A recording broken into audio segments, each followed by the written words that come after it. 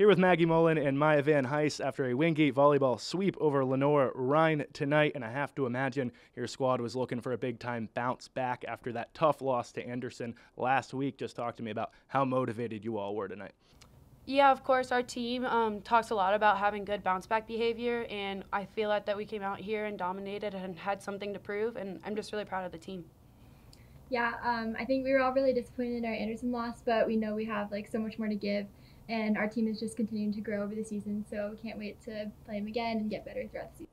My first season here for you on the court and really settled in nicely to that setter role. 24 assists for you tonight.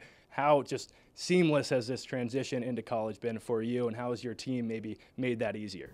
Yeah, um, it's actually it's been amazing. The team has been the number one like support. Um, everyone has been so welcoming and so kind, and it's honestly been the easiest transition I've ever had. So and Maggie, 20 digs for you tonight, one of the best performances of your career. How was important was it for you just to come out here on the court tonight and really set the tone?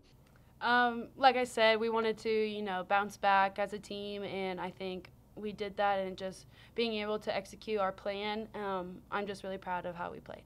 And lastly, for both of you, one more matchup this week against UVA Wise this Saturday. What does this squad need to do just to keep this momentum rolling into that one?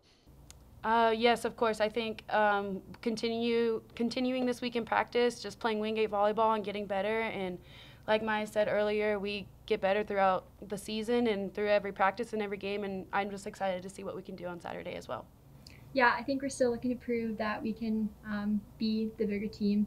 Um, we're super excited to go out there and play UVA, and we want to have um, similar results to.